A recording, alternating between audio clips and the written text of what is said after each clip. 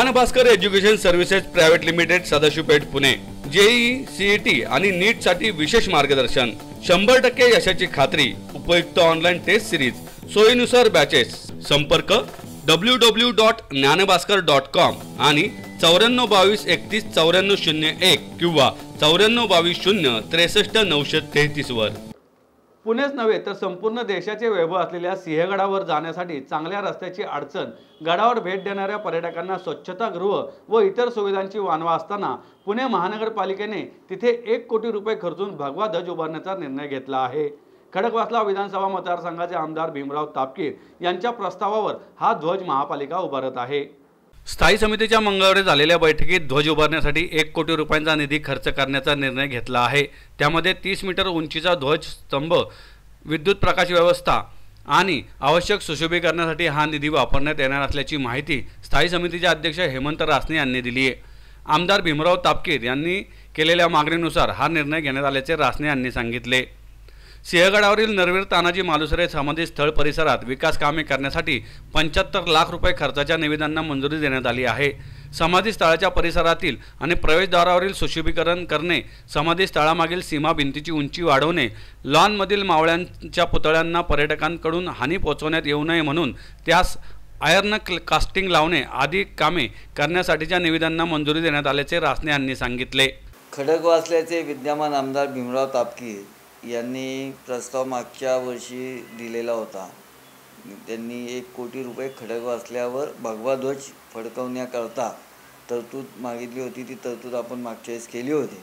आणि त्याची सगळी प्रक्रिया होऊन आत्ता तो विषय काल मान्य केलेला आहे.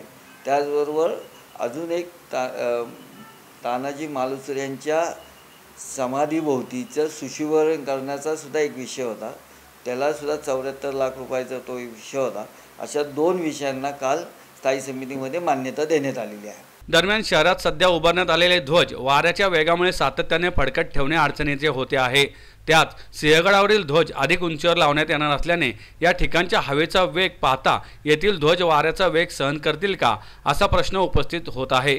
सिंहगडावर जाण्यासाठी रस्ता चांगला नसल्याने पर्यटकांचे हाल होतात. पावसाळ्यात अनेकदा हा रस्ता बंद ठेवावा लागतो. गडावरही पर्यटकांना पुरेशा व्यवस्था नाहीत.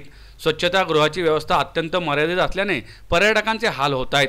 या पार्श्वभूमीवर गडावरील इतर व्यवस्था सुधारण्यासाठी प्राधान्य देण्याची आवश्यकता व्यक्त करण्यात येत आहे.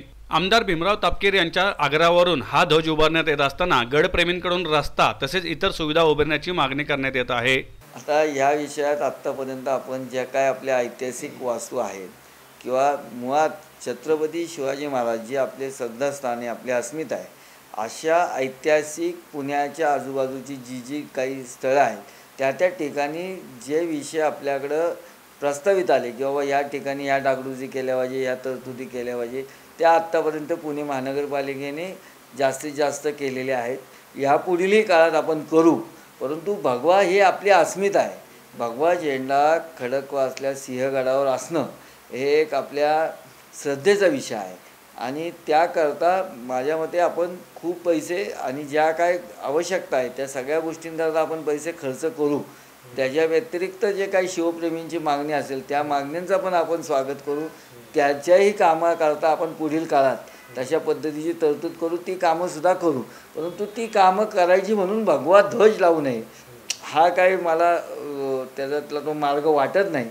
भगवा ही आपली अस्मिता आहे भगवा ही आपली श्रद्धा आहे. आणि सिंहगडावर भगवा हे असणं हे गरजेचंच आहे. आपल्या कुठल्याही किल्ल्यांवर आपला भगवा ध्वज असतोच तो छोट्या प्रमाणात असतो.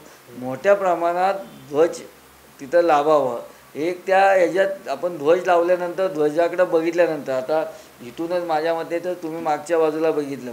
शनिवारवाड्याच्या पुढे आपण राष्ट्रध्वज लावलेला आहे. तो बघितला की एक आपल्याला एक स्फूर्ती सु सुचते. स्फूर्ती येते.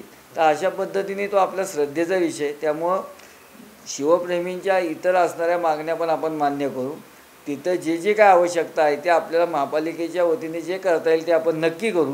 परंतु भगवा करणं हे आपल्याला आवश्यक आहे. त्याच्याकरता काही चुकीचं त्यात काही नाही.